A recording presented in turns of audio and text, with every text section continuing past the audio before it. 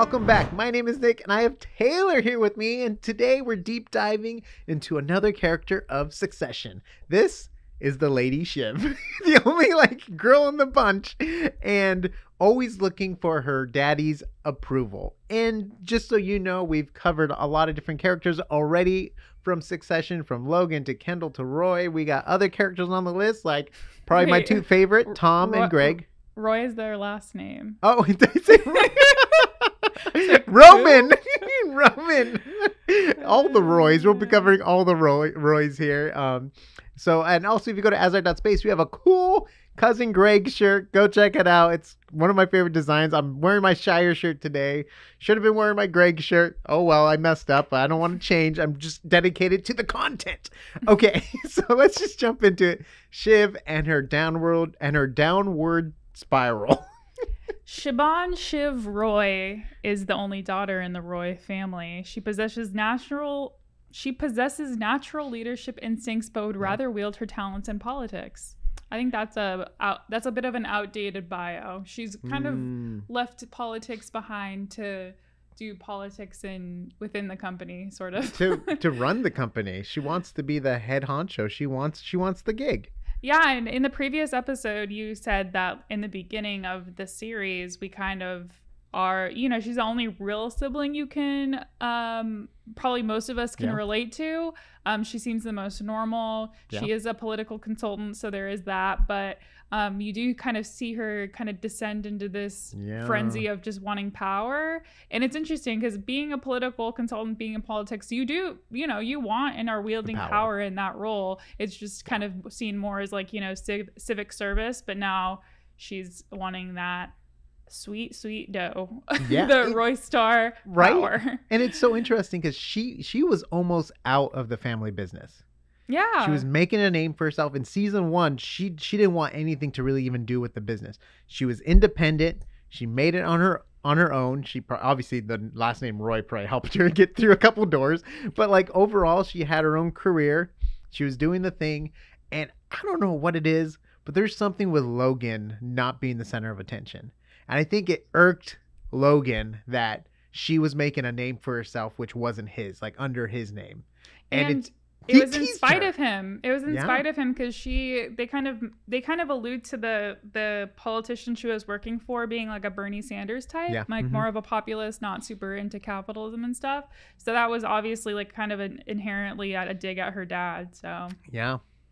interesting. It, it was interesting and it was it was also very interesting the way logan lies to her to get her into the company. He basically plants the seed like you're you're up in you are up for next in line to run the company. Like that's what brought her over. And it's insane how big of a lie that was. It looks like she's the farthest thing from ever running the company with the way logan treats her. Even though she does like a good idea he'll find a way to kick her down or just because of one one mistake he'll like totally like not even see her and blindside her. And and it's sad. And i don't know if it's like i remember when she when he was sick in bed and when shiv came came to visit him i think she was the only kid at the time that like visited him in bed and he he he called her the name of his wife i can't remember the name of his wife Mm. and I think like in that moment, Shiv should have realized like he's always gonna see her as a, a woman. And in in Logan's mind, I don't think women would ever run a company Yeah. or succeed above him. Yeah, he's very old school. And like and so I think like no matter what Shiv will ever do, she would never win that approval of Logan yeah. which is sad because he he calls her Pinky. He he keeps he keeps her in that like childlike form all the time, just so like he it does he does this with all of his kids. He kicks them, and then he sees if they come back out of love for them, and it's just like ooh. But with Shiv, I do think that he shows like the most fatherly, um, like affection towards her, and maybe that is the result of her being like his Mm. daughter, his only daughter. But do you notice that like he Yeah. kind of only he kind of seems to have like that affection, more traditional affection towards her, and not Yeah. really the others. Yeah, I can say it. maybe because he's like a dude and he can't have that affection with his kids. Even though he does hug Kendall a couple times, I don't know Yeah. if, that's just to play on his emotions. Yeah. It You know, it's be. I think it was right after the death of the kid. Remember how you like brought him in for like a solid hug and it's like but at that point it was him like just taking dominance over Kendall like you're not taking this yeah. company. You know, it's like, you know, you're not so. you know, so it's it's all everything's a mind game with Mhm. with with Logan. But Shiv starts off like probably the best character with intentions overall at the beginning of the story. And then once she gets a taste of power, her story just starts to just go downhill. The way she starts treating Tom, as it is, she was never loyal to Tom in the first place, which is seeds and and it kind of reminds us of Logan himself not being lo- loyal to his spouses and stuff like that. So that's like a pass me down. Mhm. And it's so interesting because her story just gets darker and darker the more she clings to this idea that she can have power. And she never supports Tom. And she always uses Tom and everyone else around her. And even to the point, I think she did the lowest of low of all the siblings when she outed Kendall with all of his dark secrets and stuff. yeah. And we were just talking about how Roman was like, "Whoa, hey, this is a guy who does very inappropriate stuff, really doesn't care, and you know, he's kind of like the asshole brother or the black sheep of the family, maybe we can say Mhm. Roman is." But even he was like, "I can't, I can't do this to Kendall," kind of thing. So Do you? That was last season, right? Three. yeah, that was that was last season. Oh yeah, my gosh. Last season, it was I just remember every episode I would be like my an- anxiety I would like literally feel anxious and like every episode felt like a movie. Like a- just in like it was so long and it was so like The packed tension, with yeah. every the tension. Like remember that one scene when she's making a uh, she's speaking to everybody at the company and then that song the Nirvana yeah, song rape plays. me, yeah, hmm Oh my god, that was like, wow. That yeah, And I think they that was the triggering for her to write the thing.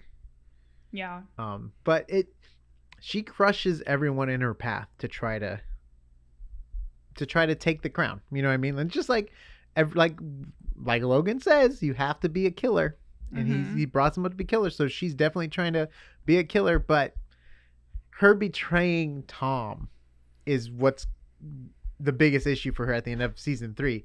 By her not being nice to Tom and just like openly telling him that she like is isn't in love with him. It wasn't like a like a weird role play thing they were doing. She's like, I don't love you or something like that. And Tom's like, okay, what's going on here?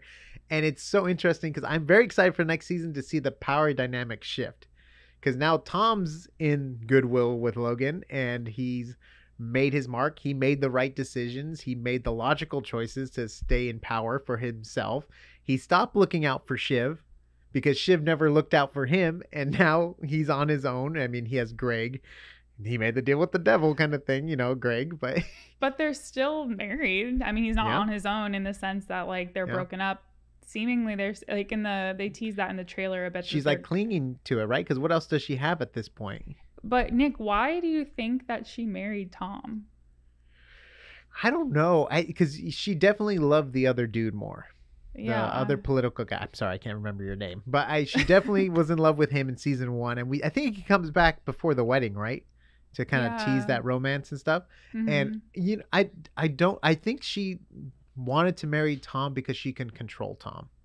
That was Mm. the idea. And like even the idea too, like Tom when he when when he's like, we're gonna be doing a whole Tom breakdown. These are notes that you're also gonna hear in Tom stuff. When when he was like in the in the range of fire to go to jail or prison, you know, for the crimes and all that stuff. Uh, he his only way of being part of the family still was to get Shiv pregnant yeah he because by so doing that, that's his it's his only lifeline, right? Like that was his only lifeline. But Shiv's like, no, because it's gonna hurt my chances of becoming the CEO or the owner of the company. So it was it was just every every choice she's ever made was has been about herself, and I Mhm. think Tom realized that. And then Tom made a choice for himself. So, and we're going to be breaking down Tom. Tom's one of my favorite characters. My my two favorite characters might be Tom and Greg overall. I love their dynamic on screen together and how they're outsiders out of the inner circle, but they're kind of leeching on to this idea of wealth and power that they want to be a part of so badly. Because Mhm. Shiv, Roman, Kendall, they grew up in it. That's Yeah. all. That's all they know. So Yeah, I think um I think that Tom was like convenient. He was yeah, there Mhm. um and he was in the world, you know? Like Mm. it's almost like, well, I don't know if he's an executive or not, but maybe he's I think he's like a VP. he's so up she- there. she's like if I if I fuse with this VP that makes me like a sibling and a half rather than you know Mm. like you said it's just like all kind of It's seemingly not poli- yeah, but it's like a smarter chess move. She'll Mhm. have she'll have a, another person to back her, which he does. And he would he would give her phone phone calls. Remember, like, oh, they're they're choosing what's gonna happen. But then Shiv, when she went to go visit Kendall, she didn't tell Tom. But you know who told Tom?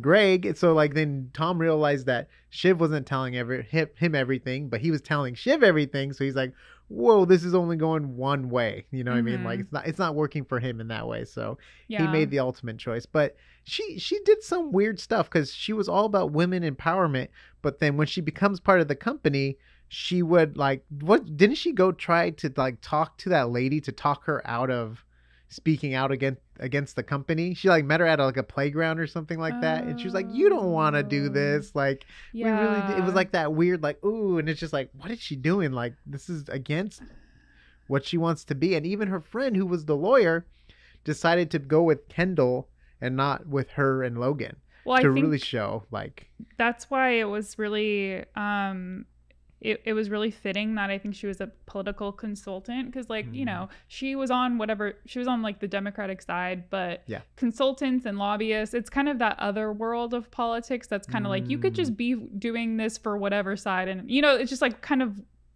it's a little bit uh um skeezy i don't know how to Yeah. explain it Yeah. and and Mhm. so it's kind of supposed to be seen as really like um altruistic or moral like she's a moral person for Yeah. whatever reason. And then it shows that it's like oh yeah that's kind of just like marketing and i, don't- I don't know. It, it, it was just a it is fit. to a point. Yeah. Hmm so anyways like the whole um yeah. And and even like her with with the group group photo with the politician she hated. Yeah. And they're like forced her to be it's like but she did it. Ugh. she's just doing whatever she has to do to to become power. And and obviously she she has mommy issues too like her mom literally told her to her face she should have had dogs and not kids yeah and just like what mother would ah it's it's it's such a unhealthy environment they grew up in all the all the roys And Nick, something that I realized, I rewatched the trailer again, and when they showed the clip of Connor getting married, it reminded me that I think in every season there's been a wedding. So last season it was Oh. the mom, there was Tom and um, season two Shiv, and was there one in the first season? i think there was one because that's isn't that when the kid died it wasn't at a wedding or something like that that was at Shiv's. That was Shiv's wedding, but I think Oh, that was the what that was the first season. so that was season one then someone got married in season two I thought so. Anyways, I Ah. I don't know if that means anything, but it was just a thought that oh, that's interesting. There's been a wedding at yeah all of this season, so Mhm. whatever.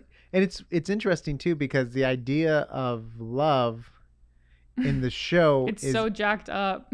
it is very jacked up and it's so interesting too because their language the language they use for business is all like sex Mhm. they're like oh i can't believe you let them bend you over and do you like that or you know they did and it's so weird because like every time there's a sexual conversation it's about business with the roys i can't Mhm. believe you effed me or you can't do this and like and it's like it's like a display of power where love isn't involved at all with the sexual act it's like a separate it, it's just so weird where like love is nowhere to be found with the roys but just the weird sexual power control stuff and it's Yeah. it's yeah, very unhealthy yeah, and it's very not to veer off too far off Shiv, but it's very obvious with Connor and his Yeah. wife. I think Mhm. they're I, I don't know. I think they do have some love there, but i think they're like, happier than all the other relationships we've seen But I mean, it, it did seem for a bit like she was kind of using him to have her funny play be oh funded. that's right the play oh my gosh yes There's so many plot lines, Nick. Like you had Yeah. just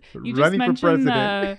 Oh my gosh, you just mentioned that the Tom going to jail, and I'm like, I forgot about Yeah. that. How do you forget But- about Tom going to jail? It was like the whole. It was his whole story arc in I- season three. And it and it led to like the best Tom scene in history, which is we can talk about next video. But um, a lot, a lot of good Tom scenes, but there was definitely one of the best in season three. Yeah, and I, I, something I want to point out with Shiv is that she is Australian by birth and has an Australian accent, and she Mhm. is fantastic. Oh yeah, in she's this just- role, yeah. and you would never know she has like a more American accent than you and I. so, um, Yeah, she's they're all she's so great. They're all Yeah. great. I love Succession. It's so good. And if you guys like it, go visit our website, asart.space. We got a great Cousin Greg shirt. Oh, man. I think he's going to take it all. I'm going to keep stating that until he does or doesn't. And I have a 50 50 chance? No, I don't have a 50 50 chance. I'm going to keep stating until I'm blue in the face. And, um, we're going to cover a lot of succession here so subscribe to get all the updates and deep dives on different characters and also themes and stuff like that i also i also was thinking about one too taylor maybe we got to talk about the camera guy in the show because the camera guy is always sitting at the table he's always in the car and always moving it's like who's the camera guy in this world he's like an extra character I think we need to we need we do need to talk about those like more um those aspects of it like the writing and uh-huh. the filming. Yeah, because there's Yeah. there's a lot of shaky cam. and it feels like there's a guy always following them around it's like who is Mhm. this guy subscribe we'll see you on the next AsArt Bye.